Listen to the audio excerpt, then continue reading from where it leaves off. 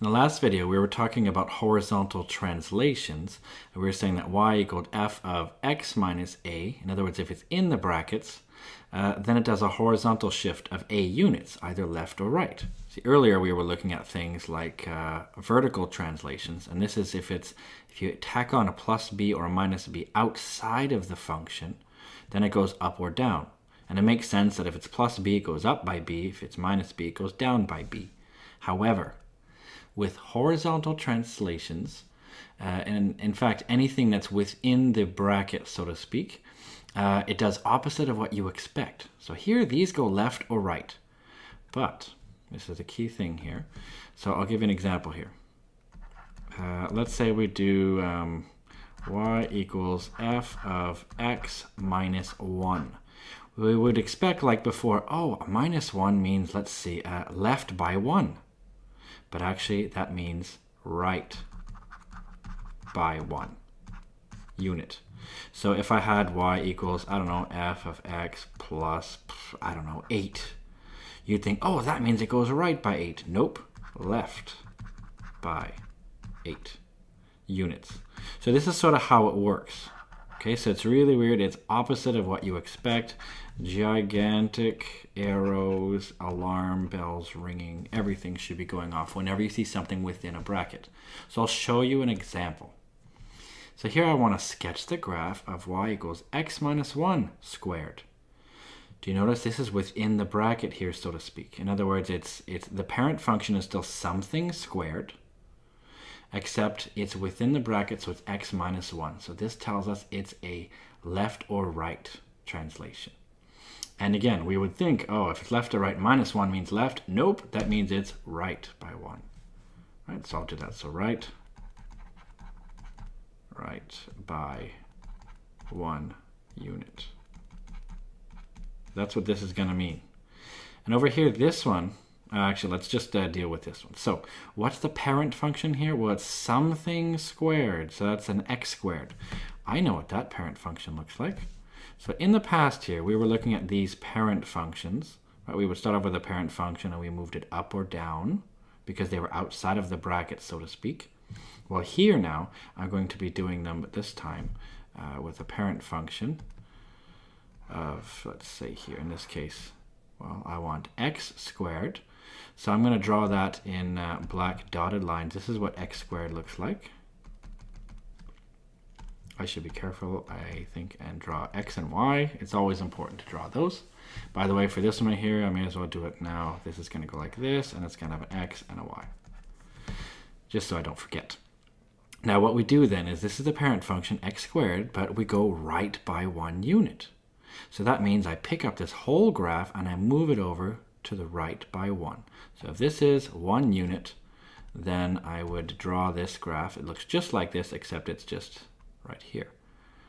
Uh, those who use computers, which is, well, hopefully just about everybody, uh, you should understand about this. This is like if you cut and paste it. You know, you just copied it here and you just pasted it over here. Right? It would be the same exact thing. That's why we call these translations, because they've just been shifted over or up or down or left or right. So let's look at this graph. Because by the way, we're done. This is what the graph here looks like. What's the graph of square root of x plus 1?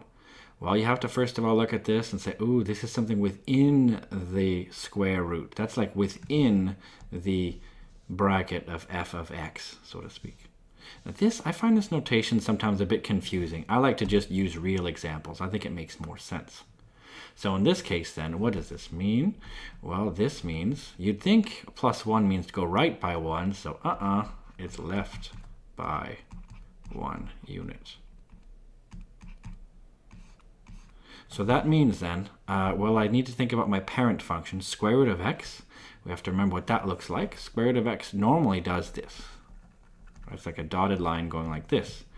But if it's been moved to the left by one unit, then, well, that means I take the whole graph here, it's like I move it over by one, and then I have it do the same thing. So it'll be something like that. So this is taking this original parent function graph and taking everything and shoving it over to the left. So this is what this graph right here is going to look like. It's going to look like this. So hopefully you see that that's how we can do these guys here. Well, that sounds obscene. That's how we can solve these things. Uh, one little point of note, though, uh, notation. Sometimes people write a translation of, and they'll write it like this in this notation here. So I just want to help you out. This, what it means is um, left or right by x units and up or down by y units. So in, for example, if we wanted to sketch a graph of f of x and g of x, I just noticed my a and graph look like they're the same word. It's not. It's not sketch a graph. It's sketch a graph of f of x plus g of x. And I'm saying that f of x is x squared. Oh, that's easy. Right away before doing anything else, I can already graph f of x. f of x looks like well, x squared, I know that one. That's a parent function I know very well. It's just this nice, happy, regular parabola. That's f of x. But now what I want to do is also draw g of x, which is a translation of f of x by this. So what this means here just like I was saying before with this notation. Now this notation here is a little bit strange because this one is not opposite to what you think. In other words, this one right here, this means um, left or right by x. So in this case, a plus 1 means uh, right by 1.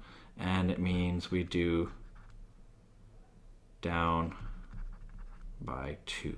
That's because this is negative 2. So up or down by y, left or right by x. In this case, if it's left, it's a minus, right is a plus, up is a positive, down is a minus.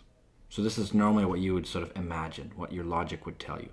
So in this case, it's right by 1, down by 2. So that means I take this original graph here, right, because this tells me that g of x, whoops, g of x is a translation of f of x by this.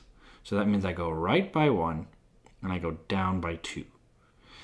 That's what the plus 1 and the minus 2 tell me. So right by 1, down by 2, that means I take this original graph here. Maybe I better draw it in different colors. I'll draw it green. So I take this and I move it right by 1. So I'll make sure I have that. Uh, I guess I'll draw that in blue just to keep things similar. So this is plus 1.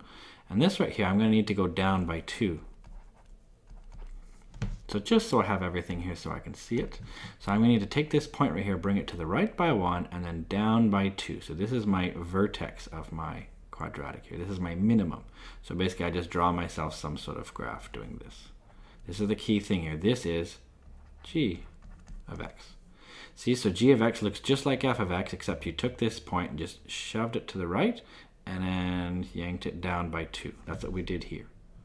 Okay, so we could have also written that the same thing, right? I mean, we could also say, well, what's, what's the equation for g of x? Well, I can actually use what we've just learned.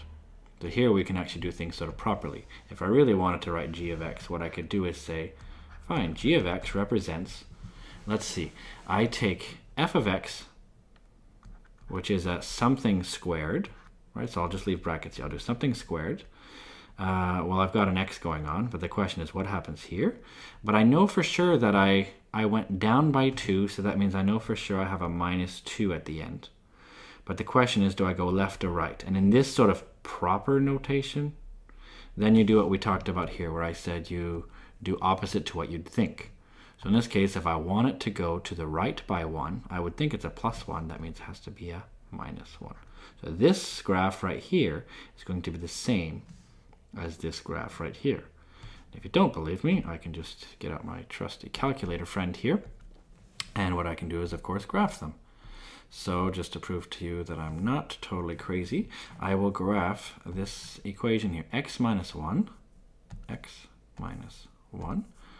Close the bracket, I will square that, and then I will say minus 2, and hopefully it works.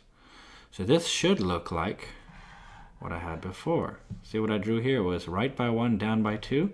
See, the vertex is right by 1, down by 2. That's where the vertex is. So, there are different ways of writing it. This notation right here is really weird. I don't think it comes up all that often, but the other notation is much more common. So this way right here, that's the one to always use and go opposite to what you expect, just like the examples here that I showed you.